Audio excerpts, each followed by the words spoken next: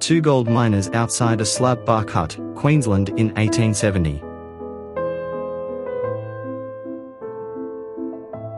People in an air raid shelter during a test alarm, Brisbane in 1942.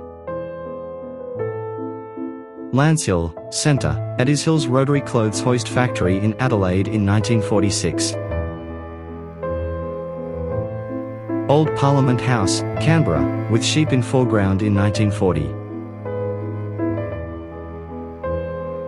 First cars and trains across Sydney Harbour Bridge, in 1932.